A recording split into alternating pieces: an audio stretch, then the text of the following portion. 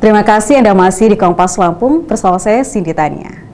SMA Negeri 3 Bandar Lampung menggelar lomba antar anggota Palang Merah Remaja seprovinsi Lampung.